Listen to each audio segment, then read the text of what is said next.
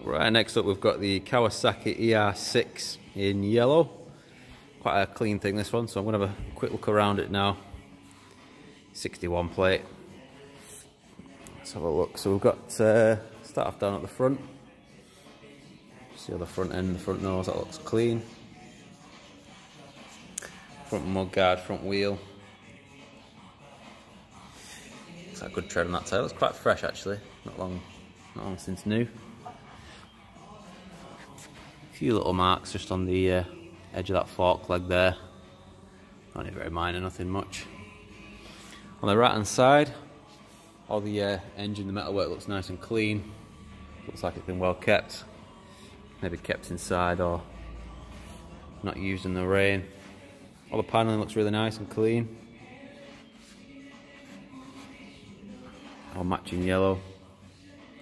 Nice little aftermarket exhaust. I'll uh, start that up for you a minute so you can see what it sounds like.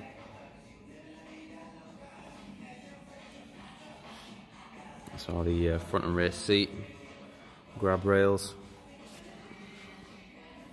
and that rear wheel. Rear tyre looks good.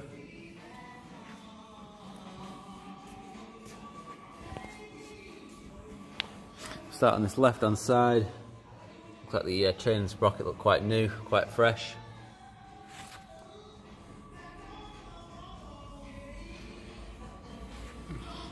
Nice and clean on the left hand side tank as well. Got crash bungs there as well. So yeah, overall it's pretty clean that. Same little marks just on the uh, lip of that fork there. Little bit of paint chipping on the mudguard. And so a quick look on the dash. Uh, so mileage wise it's showing uh, 22270.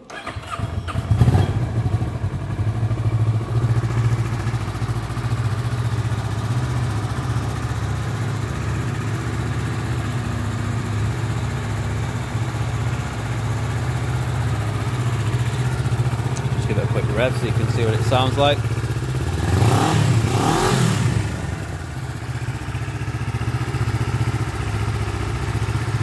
Lovely, there you go.